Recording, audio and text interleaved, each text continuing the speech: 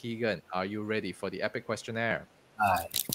All right. Question number one One word that you love the most. Am I supposed to? Is it supposed to be fast? It- Oh, yeah. Ah, um, prosperity. Prosperity. One word that you dislike the most. Can't. Okay. Uh, right diction, I'm sure. Okay. Yes. Yes. yes. Can't. Can't. Okay. You can't. Can't. Okay. Now, if you could have a conversation with one person, fictional, non fictional, dead or alive, who would that be? Oh. Oh. Um. Wow, Buddha.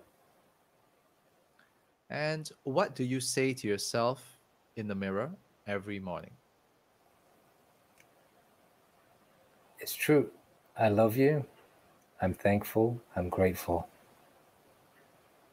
Name one superpower that you'd like to have. Oh. Ability to read minds. Favorite dish to eat. wanton mee. Favorite travel spot or the next travel spot that you'd uh, like to go to once borders open up. Oh, I would really love to go to Bhutan.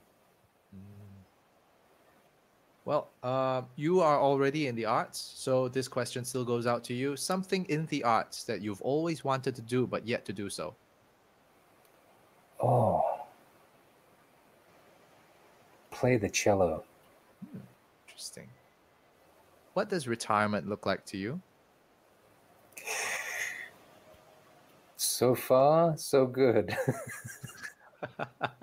are you already retired?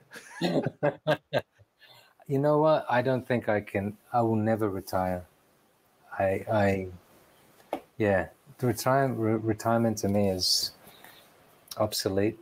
I will, I will just continue to keep doing whatever it is. Yeah.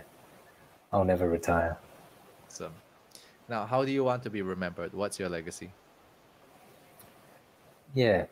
Someone who shared, someone who cared, someone who inspired, someone who made a difference with his connections.